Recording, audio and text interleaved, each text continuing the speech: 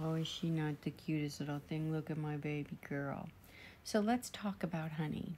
She's a retired service dog, right? However, she's been individually trained for my disability. So the truth is is that when she is working, she can still work even though she's retired.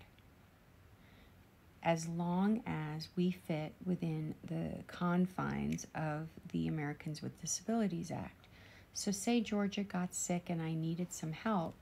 Honey, as long as she is still fitting, her actions are still fitting within that which is required by the ADA, she is then considered my service dog, even though I consider her retired.